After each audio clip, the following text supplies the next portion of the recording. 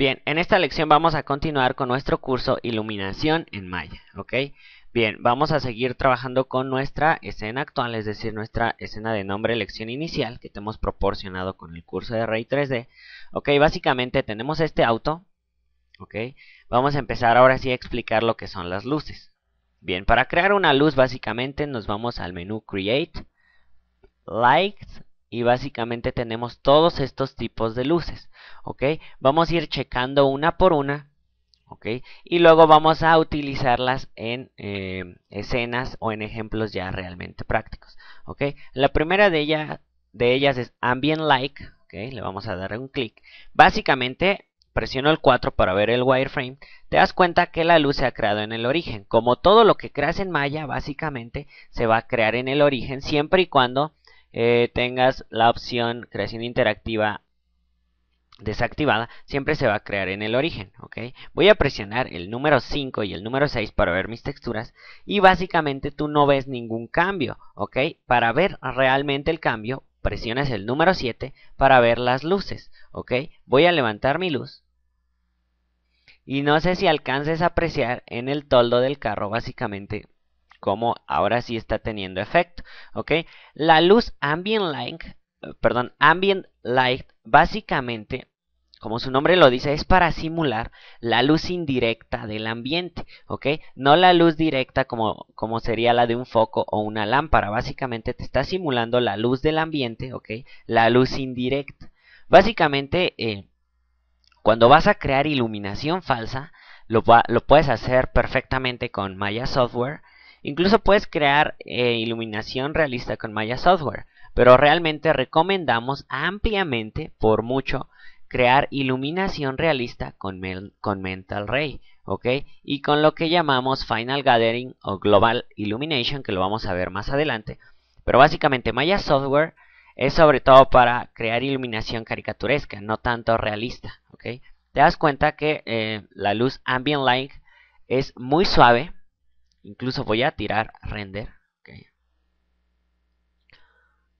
Te das cuenta que en tu visor, eh, en tu viewport, perdón, de Maya, se, ve muy suave. Incluso al renderizar se ve un poco más intensa, pero realmente se ve suave, no se ve ese brillo intenso eh, como sería un punto de luz, que lo vamos a ver más adelante. Se ve muy suave, es para simular lo que sería la luz, como te mencioné, indirecta, posiblemente incluso hasta la luz del sol, ¿ok? Una luz suave, ¿ok? Y tenue. Voy a eh, minimizar esto, Mi ventana.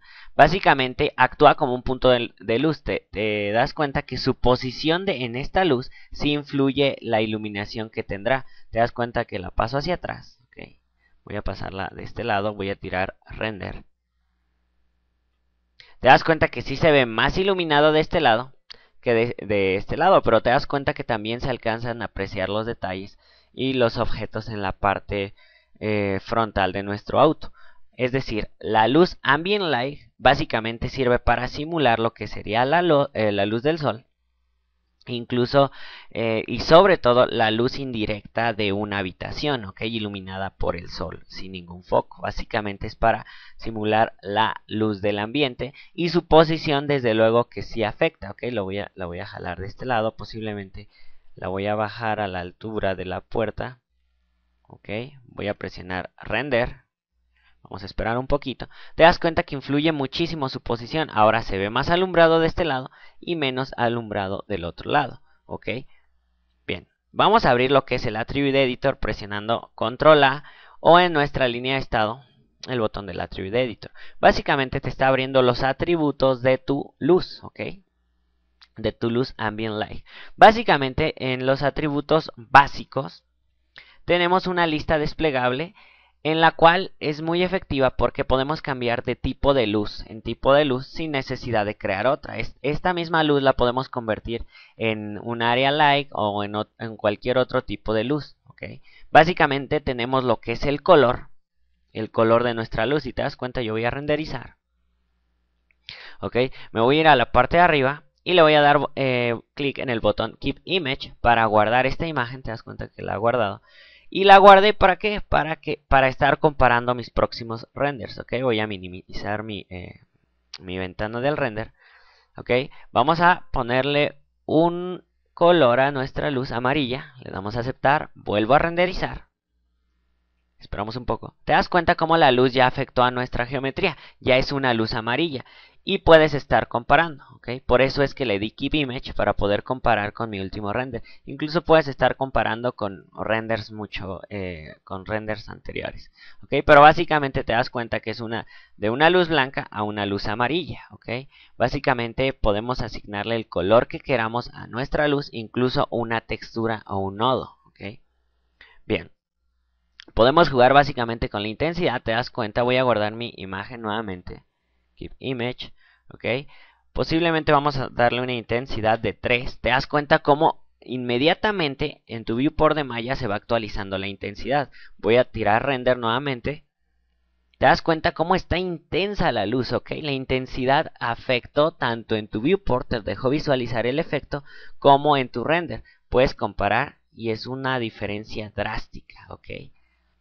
De igual forma puedes eh, disminuiré el valor, por ejemplo, 0.5.